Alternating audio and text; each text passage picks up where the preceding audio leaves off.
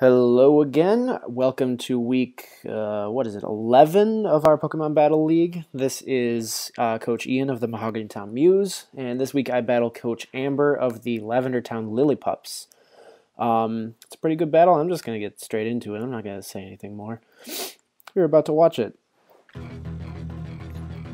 So um, this week I tried a neat little strategy uh, on a few of my Pokemon uh, because I was pretty annoyed that I couldn't fit in my There Is No God Qwilfish.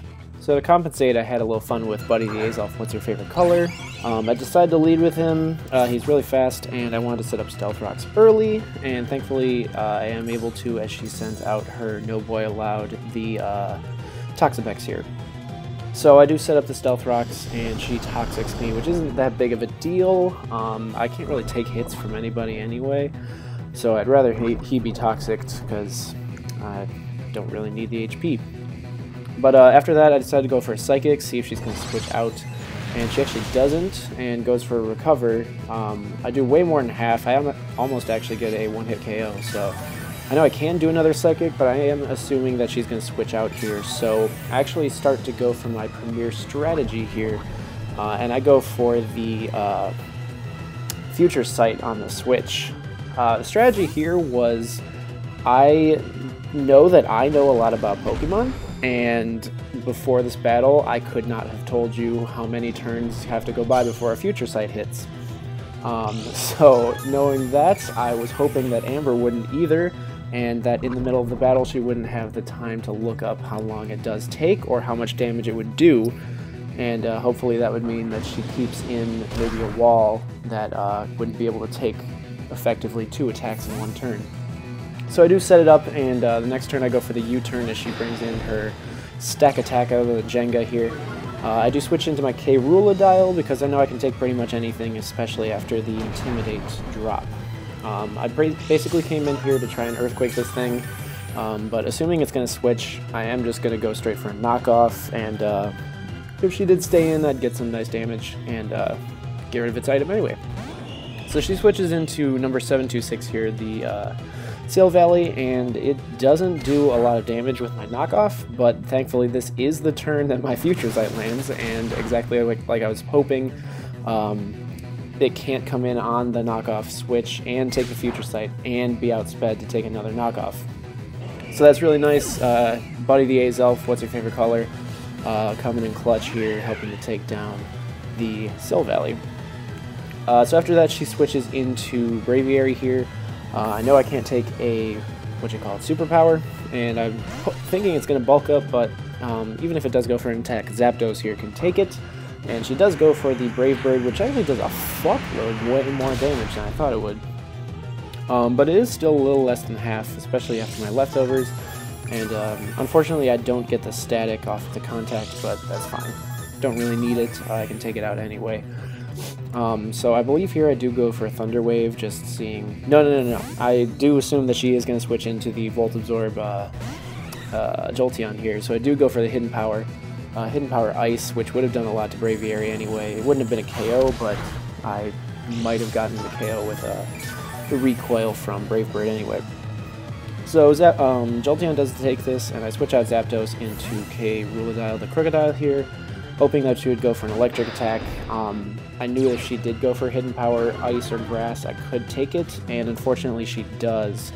And uh, it brings me down to about a third of my HP, but I am Choice Scarfed here, and I think she knows that, so she is going to switch out into her uh, head hands, the Hydreigon here. I do go for the Earthquake, just trying to play it safe. I really don't want to uh, face this Jolteon because it is something that's stopping my little squishy Manaphy from setting up. So I'm just going to go for the safe Earthquake, and it's not going to affect her Levitate. So in return, I'm going to switch out into Justice Goat, my uh, Cobalion here, hoping that she was going to go for a dark, Pulse so I could quad, uh, quad resist it and get the plus one off my ability. But she ended up, uh, ended up going um, Outrage anyway, which I resist, and I can take two of those and I KO with a close combat.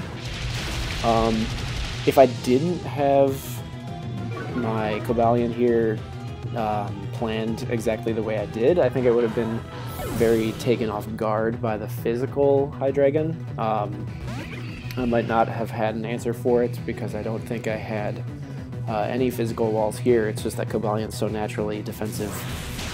Uh, but in return, she does bring out the Toxapex, and I go for a Volt Switch, get some super effective damage, and switch out into Fitty Scent here. Uh, I can't be toxic, and if I'm Scald burned, like, who cares, whatever.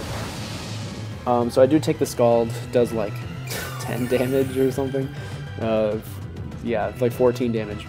Um, and she does switch out the Toxapex because uh, she knows I can hit it neutrally, at least with a Giga Drain or something. But I do just go for a Sleep Powder, assuming she is going to switch out. And luckily, she does switch out into the Dennis uh, Braviary again. Uh, so Braviary luckily doesn't wake up on this turn, which was a possibility, and I would have been super pissed about it. Um, but I do end up going for the Sludge Bomb, which is going to take out Mr. Dennis here. Um, so that's one threat taken out. It's another thing that might have been able to take down Little Squishy um, on the setup turn, so that's always good to go. Uh, so she brings out Jenga here, and I actually have Hidden Power Ground, not specifically for this thing, but it came in handy.